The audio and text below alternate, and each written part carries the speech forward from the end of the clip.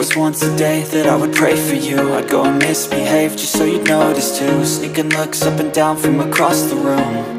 And Damn, what a hell of a view. I feel good, you look great. I like you, I can't wait. A first time, a first date. You're so fine, I'm so late.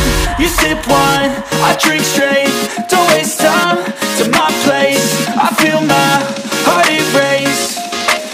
Selepas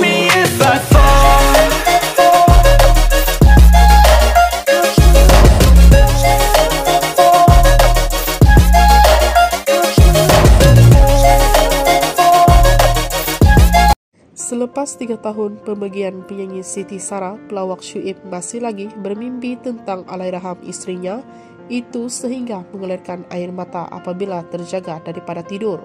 Istri Syuib yaitu Wati bagaimanapun memberitahu dia tidak berasa cemburu apabila melihat pelawak berkenaan menangis dan berada dalam kesedihan disebabkan mimpi yang dialami. Saya sedang tidur dan tiba-tiba nampak Syuib bangun, katanya dia mimpi arwah Sarah saya pula tengah mengantuk. Kalau orang tanya saya cemburu atau tidak, saya boleh pergi sambung tidur pula. Rupanya bila saya celik mata semula saya lihat dia tak tidur dan sambung menangis kongsinya. Wati atau Fatih Nikmatul Adawiyah Hanifiyah berkata, perkara itu menerusi video siaran langsung di TikTok miliknya. Bercerita mengenai mimpi dialami Syuib sehingga menangis, Wati memberitahu suaminya itu bercerita dia mengalami kecederaan namun Sarah tidak datang membantu apabila namanya dipanggil. Perkara itu membuatkan Syuib merasa sedih dan mungkin disebabkan terlalu merindui Alairaham. Syuib beritahu dia sedih karena tidak dapat jumpa Sarah. Katanya dalam mimpi itu tangan dia ditoreh dan terluka.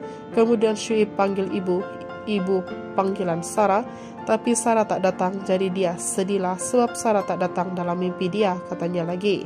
Untuk rekod Syuib atau Syamira Muhammad dan Wati mendirikan rumah tangga pada 23 Jun 2023 yang merupakan perkawinan kedua Syuib selepas pembagian istrinya yaitu Sarah yang meninggal dunia pada 9 Agustus 2021 akibat jangkitan COVID-19.